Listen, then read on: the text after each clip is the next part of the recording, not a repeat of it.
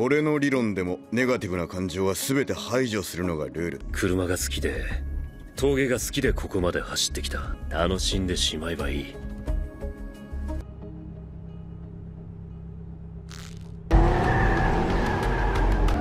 るぞ来るぞ。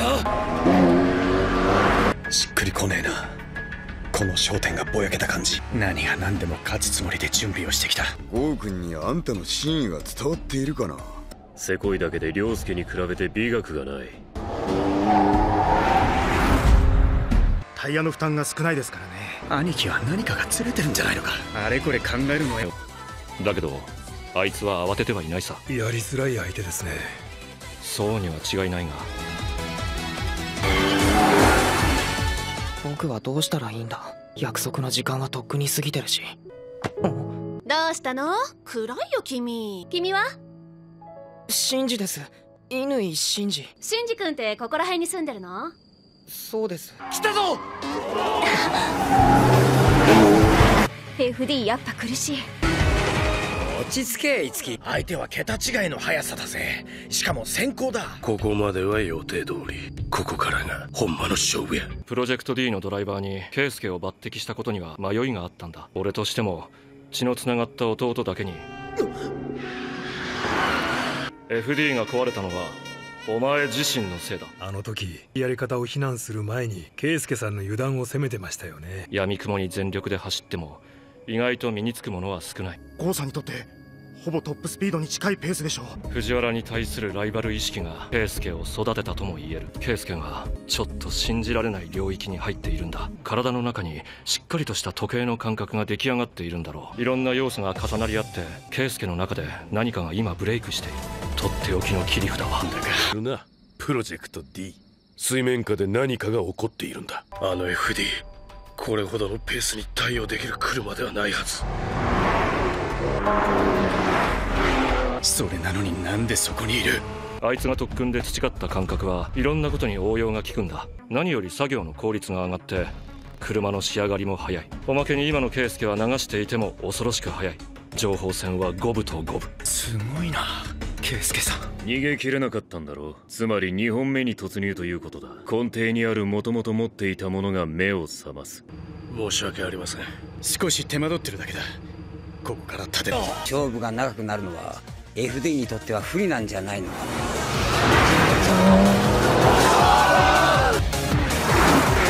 かでも FD3S はたくさんいた。勝負ごとに絶対はないっちゅうことややはりサーキットではありえへんことが峠では起こる。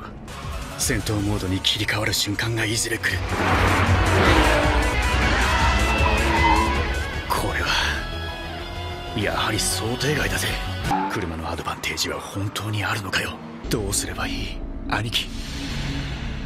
何をどうすればいいタイムが出るのか本当によく知ってるよな。お前才能あると思うぜ。ゴ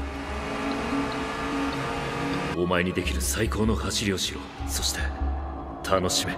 シンジ君ってちょっと匠君に似てると思わない？前にバトルして負けてるけどね。バトル？あの頃から匠君はずば抜けた何かがあったよね。男はルックスじゃないと私は思うね。マコなんて特に速い男にはイチコロよ。でも今日このステージを走る4人のドライバーは私たちから見たら未知の何かに出会えるならばなことなんだお前はアドレナリンを良くないものと決めているけど俺はそうは思わない。スタートしてしまえばもうシャニムに攻めるだけでいい。来た。赤い車が弾んで見えた。どっちのドライバーもすごいよ。走りたい。僕もあんな風に。お前は？あんな攻め方をしていたらいつ破綻してもおかしくないな。かっこいいじゃないですかあいつら。2本目で終わりますよ。圭介さん乗れてるからです。この大事な時にコンディションのピークが来てしせっかくマコさんここで見ててください。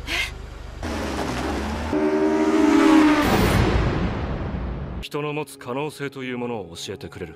兄貴。負けたよ。よくやった。頼んだぜ北関東最速の下りや。宝生さんが走っているところを見て気持ちが動きました。好きなように表現をしてくればいい。お前は下方者だ。シンジ。彼の持ち味は先行でこそ進化を発揮します。若えな。あれ藤原より若いぜ。藤原匠です。乾真司です。一本目が正念場だ。最強の敵だと思え。よいやっすなんだってた僕だけ匠くん。メール待ってるね。ステアリングを握ってしまえばシンジ君は別人格ですわ。この道路をもう何年通ったことになるんですかね。シンジがこの道路をよく覚えているのは小学校高学年くらいだと。あの子の走りは完全に自己流で理論の裏付けは全くないんです。ブレーキをいかに踏まないで走り続けられるかというのが下りですから惰性でうちに着いたよ。ノーブレーキで培った感覚だけは変わりません。シンジ君はいつも子憎らしいほど普通に仕事をします。ダウンヒルを速く走る止まらない。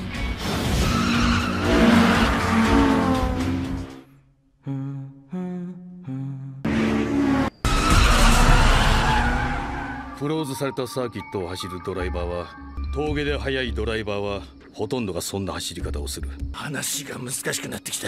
常識では考えられないほどコースを熟知したドライバー。と言いつつ全然わかんねえ。特にツッコミが速いとか立ち上がりが速いとかじゃない。テクニックのあるなしとは別の問題としてです。12年間毎日。あの子は逆サイドから先にコースを覚えました。あそこで絶対ついていけないものすごくやばい。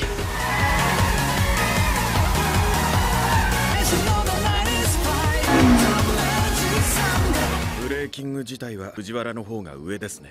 だけどブレーキのリリースポイントだけはそれなのにあの余裕のなさ。何が違う？見たいんだ。車の背中に羽があるの前代未聞の暴挙だぜ。まるで状況が飲み込めないんですが。嫌な予感が的中。こいつはいいぜ。傑作だ。王女何考えてんの？あの子。ヒーローになってみたいと思いました。いい顔つきになってるな。やってみろ。自由に。走りを楽しんでこい。間違いなく勝つ気でいる。涼介も俺たちもここからはただのギャラリーだ。お前何考えてんの？バトル中にお先にどうぞってやられたことねえし屈辱だし。どこかで引っかき回して何か変える必要があったんだ。最高のドラマが動き出す。俺たちのダウンヒルエースを。このまま前を走り続けていればいいのか。藤原にとっては不本意かもしれないけど抜き返すなんて藤原はうちのダウンフィルエースだぞ。思っていた枠を一度外した方がいいぞ。文弘逃げるしかないな。ヒルクライムの2台に比べても非力な86の割には俺たちが見ればまだ本気じゃない。後ろの86が何かやらかすぞ。今日は見えない。あの羽シンジの後ろは走りにくい。誰でもリズムがおかしくなる。後ろを走った者は皆口を揃えてそう言いますな。あいつなりに明確な意志を持ってわけわかんない。シンジ君なんで抜かせたの？今となっては不思議じゃないよ。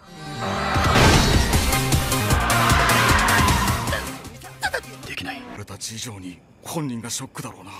何があっても気持ちが折れたりはしない。俺には状況が見える。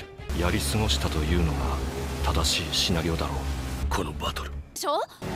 さっきより少し速くなってる。あれと同じことができるんじゃないのかな私は忘れないよ。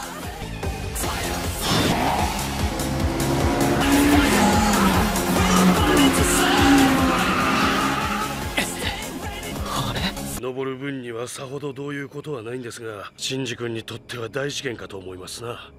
藤原匠はしぶといぜ。物事を対極的に見ておられると言いますか。単純に勝った負けたで終わらせてしまってはもったいない。僕なんてやっぱりダメだよ母さん。あいつには積み重ねた時間があるんだ。怖いよ。母さん。みんな僕のことすごいって言うんだ。世の中にはしんちゃんより早い人たくさんいるのよ。近いうちに行動レースの大きなイベントがあるらしくてだから僕はあんまりやりたくないんだ。もうやだ。逃げ出したい。いや多分そうだ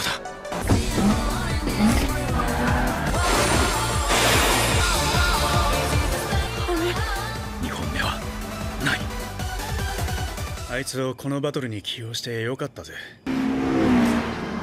見物人の多さに舞い上がっていたのかな。厳密に言えば